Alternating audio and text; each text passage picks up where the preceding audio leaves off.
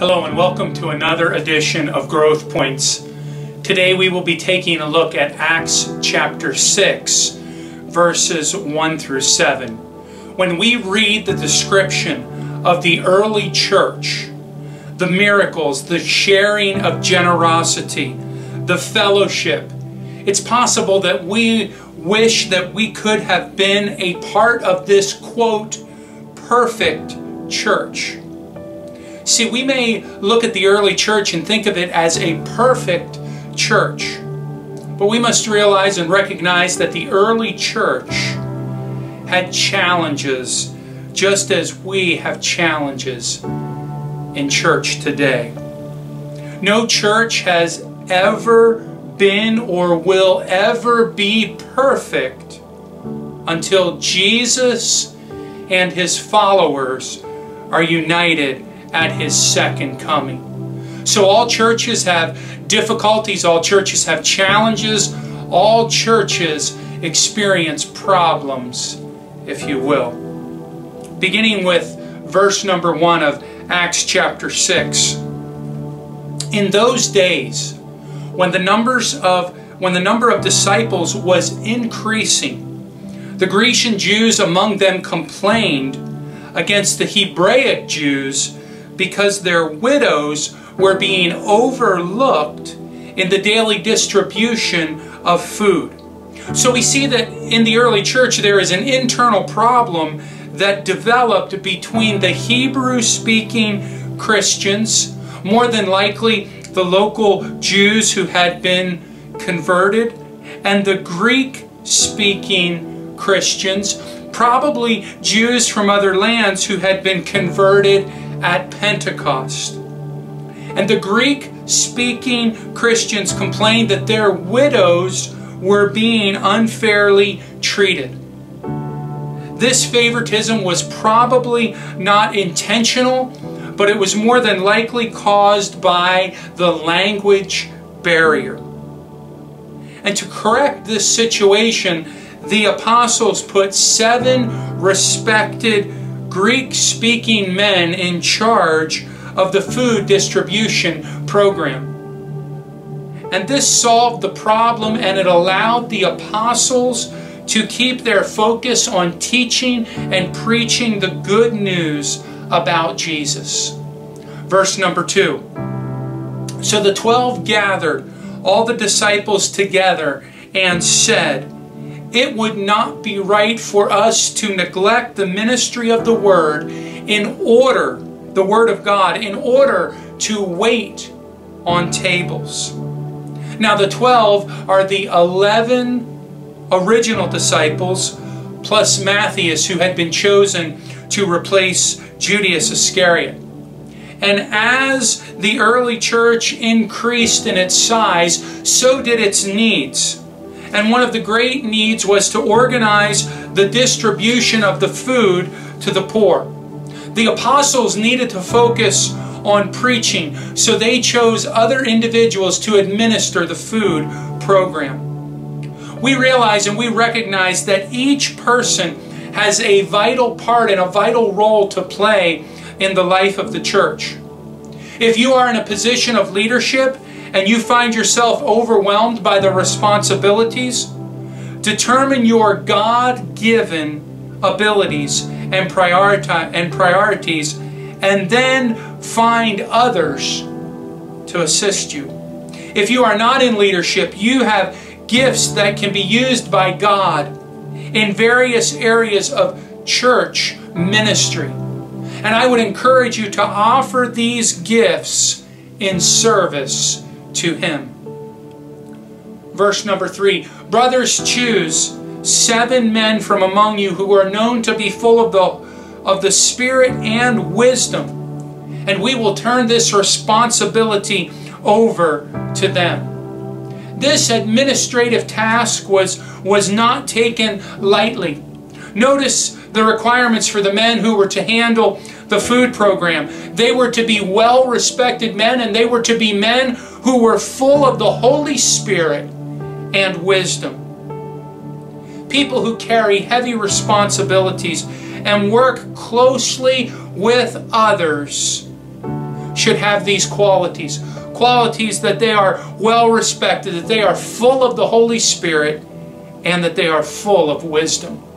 So we must look for spiritually mature, wise men and women to serve as leaders in our churches.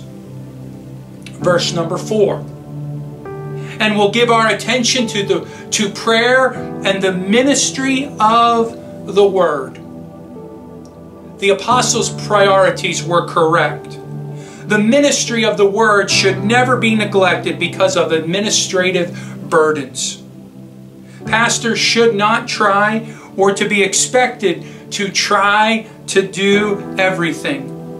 Instead, the work of the church should be spread out among its covenant partners.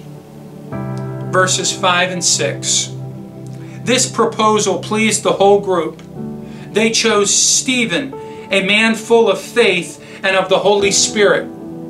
Also Philip, Prochorus, Nicanor, Timon, Parmenas, and Nicholas from Antioch, a convert to Judaism.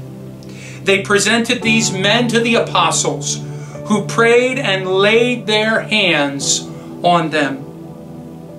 You see, spiritual leadership is a serious business that should not be taken lightly by the church or its leaders.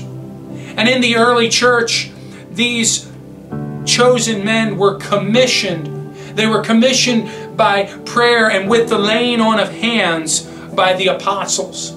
We see that the laying on of hands on someone is an ancient Jewish practice. And it was a way to set a person apart for special service.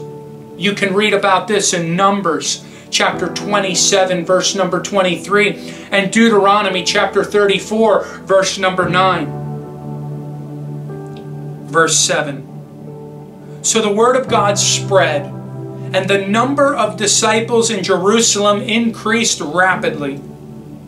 And a large number of priests became obedient to the faith. Jesus had told the apostles that they would first be witnesses in Jerusalem. And in a short time, their message had infiltrated an entire city and all levels of society.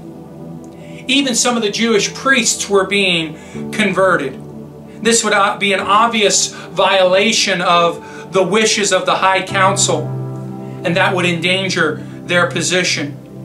You see, the Word of God spread like ripples on a pond where from a single center each wave touches the next, spreading wider and further.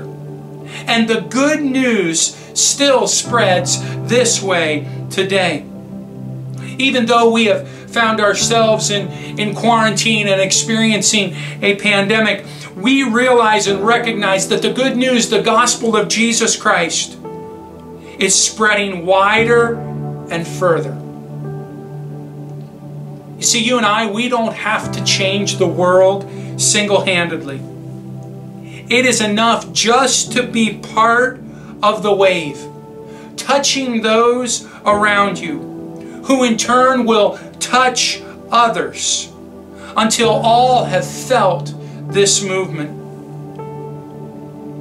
Do not ever feel that your part is insignificant or unimportant. Each and every one of us plays a significant part and an important part in spreading the good news of Jesus, the hope of Jesus, the life changing message of Jesus. May I pray with you. Heavenly Father, thank you for this opportunity to look at your word. May we all realize and recognize that we each have a vital role to play in the kingdom of God. Each and every one of us has an important part, an important role to play in your kingdom. So I ask God that you would order and direct our steps. I pray this prayer blessing over each one of you. May the Lord bless you and protect you. May the Lord smile on you and be gracious to you. May the Lord show you his favor and give you his peace. Because of you, Jesus, and the hope of heaven, we believe and we know the best is yet to come. Amen.